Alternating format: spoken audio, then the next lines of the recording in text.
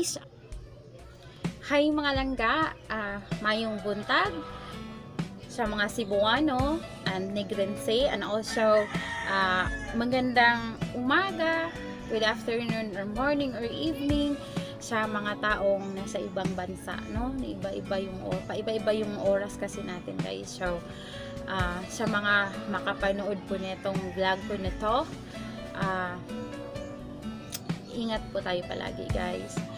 Ah, ang topic na gusto kong itakel natin today ay ang tungkol po ito sa battered wife. Ah, gusto kong ito yung tatalakay natin ngayon dahil tumaas po ang rate or incident ng mga battered wife na naririnig natin sa ating mga transistor radio and also ah, nakikita natin sa ating telebisyon no? Kay Sir Rafi Tolpo doon natin lagi nakikita guys na ah, may mga complainant ng battered wife. At gusto ko rin na makikita ito ng lalo na yung mga nasa probinsya guys yung nasa bukid-bukid gusto kong makikita nila ah, malaman nila yung ah, halaga sa sarili nila and without further ado uh, umpisahan na natin to guys guys mga langga bakit natin kailangang tulungan ang mga babaeng sinasaktan, binubugbog ng kanilang asawa o live-in partners. Dahil po guys, wala pong ah, karapatan, wala pong sapat na dahilan para ah, bugbugin ng kanilang asawa o bugbugin ang babae ng kanilang live-in partners o kanilang legal husband.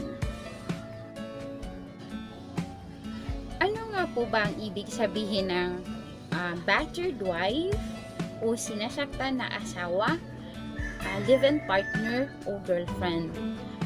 Sila po itong nakakatanggap guys ng paulit-ulit na ah, pananakit ng kanilang asawa, live-in partner or boyfriend na pananakit na physical, emotional, sexual, mental, and psychological abuse. Sila po yung inaaboso ng kanilang mga partner sa buhay o legal wife. Guys, mga langga, ah, ginawa ko itong paksa na to ngayon natin dahil ah, tumaas po ang rate ng o rate o bilang o ng incident ng spousal violence o yung mga asawa o live-in partners na sinasaktan ng kanilang mga asawa guys.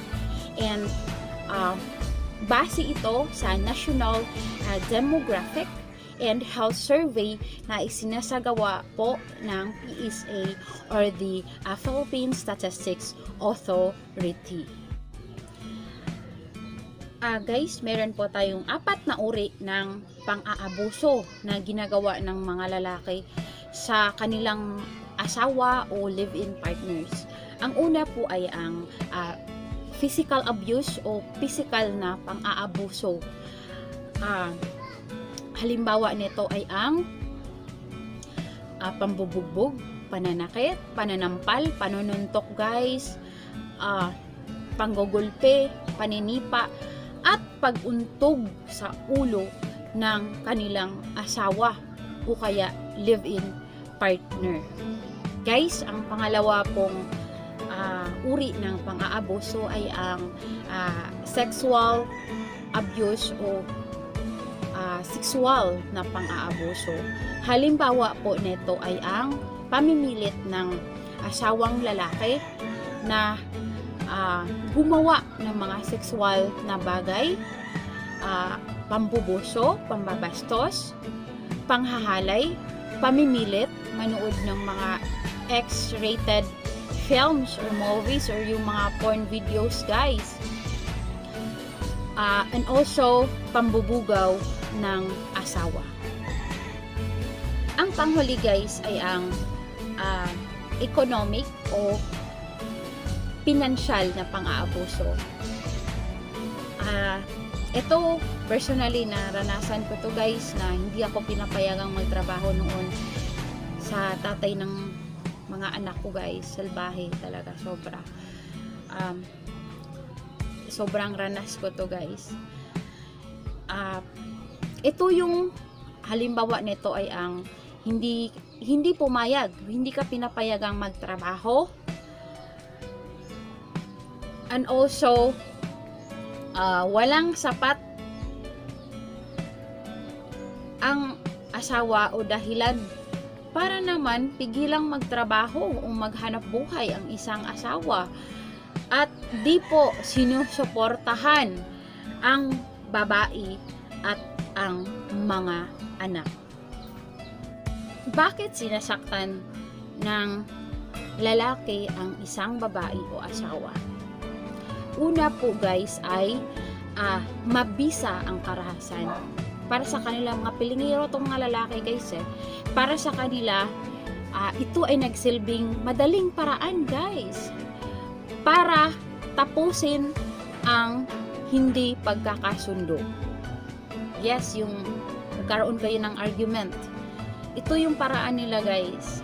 Ang pangalawa ay ang nasisiyahan guys ang mga lalaki. Pakiramdam nila pagkatapos silang makipag-away, ah, lumalakas sila. Ang pangatlo guys ay ang maling paniniwala sa tunay na kahulugan kung ano ang tunay na lalaki. Ang akala nila na ah, kapag ikaw ang lalaki, kontrol mo ang bawat galaw ng iyong asawa o ng iyong live-in partner. Kaya okay lang sa kanila guys, okay lang sa kanila na ah, sinasaktan ang kanilang asawa o live-in partners. Ang pakiramdam ng mga lalaki guys ay pagmamayari nila ang mga babae. And also, impluensya ng kultura. No? At ang kasunod ay ang tinatawag na machismo. O ito yung ah talamak ito sa lipunan natin guys, sa iba't ibang lipunan which is ah kailangan nasa mataas na level ang lalaki o agresibong ah, pagmamataas guys at also ito yung ah, pagpapahiwatig sa ah, mapang-abusong sa loobin ng mga lalaki doon sa kanilang asawa o ah, live-in partner ang kasunod guys ay kapag wala itong trabaho at ah, gumagamit rin ng bawal na gamot.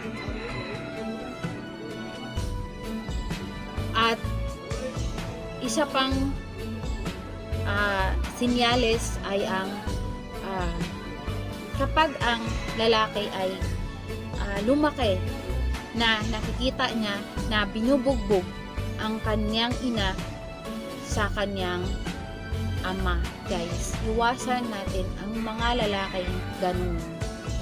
Ang kasunod guys ay kung may trabaho man ang asawa o live-in partner, ito ay may mababa na sweldo guys at hindi sapat ang kita.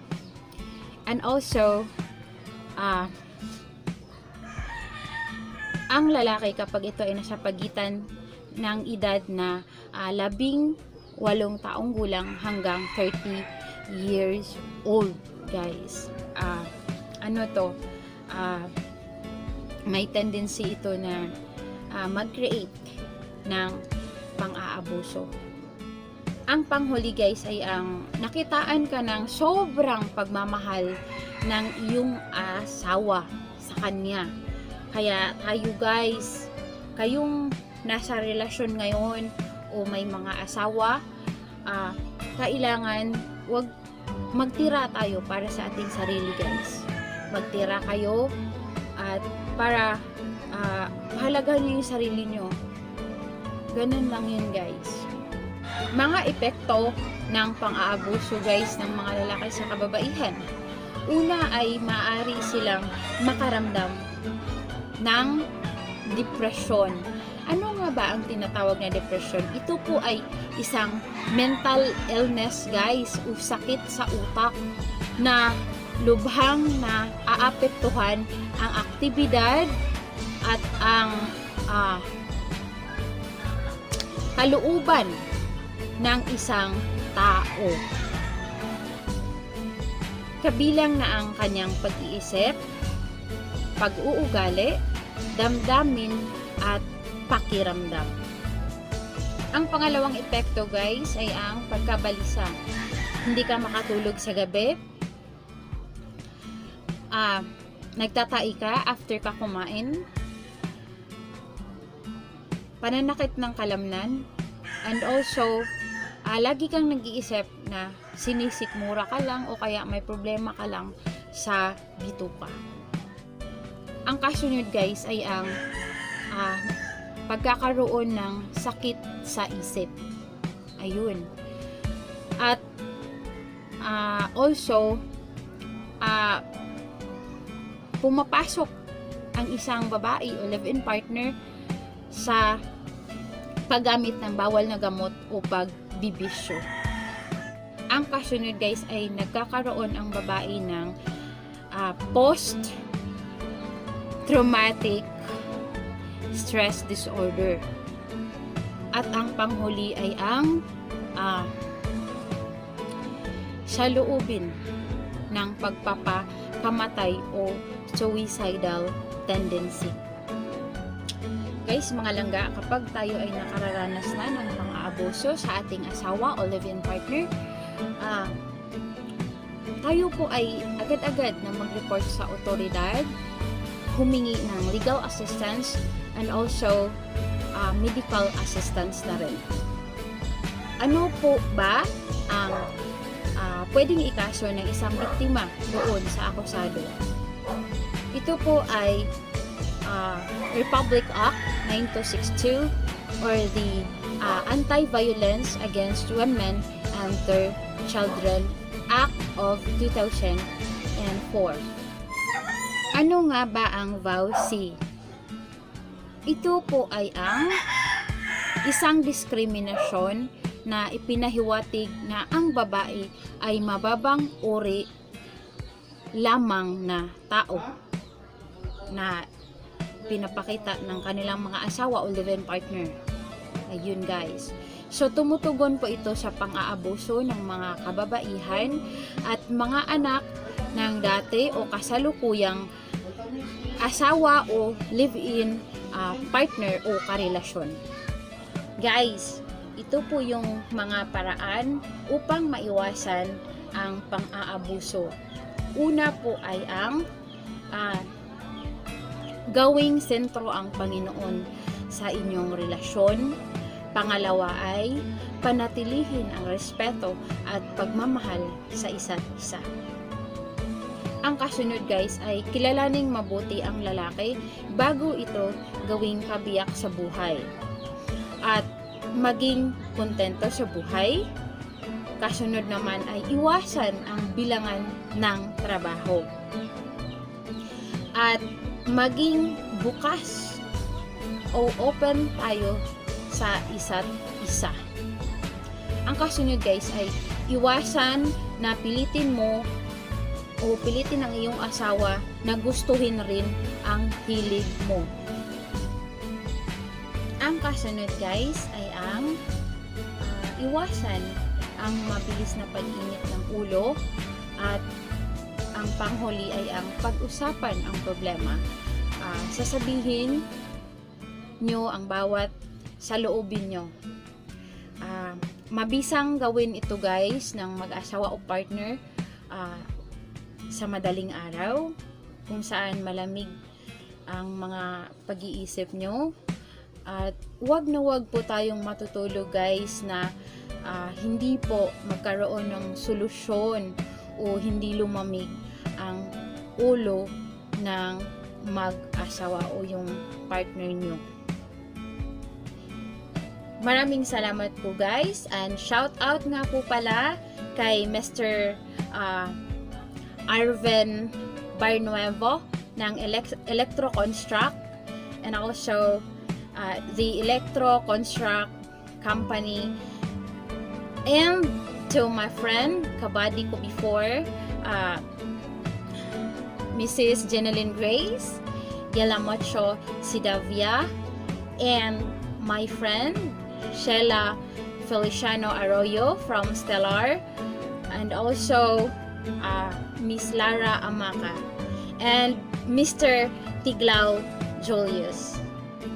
Yun lang po guys. Ah, ingat kayo lagi and stay safe. Maraming salamat po.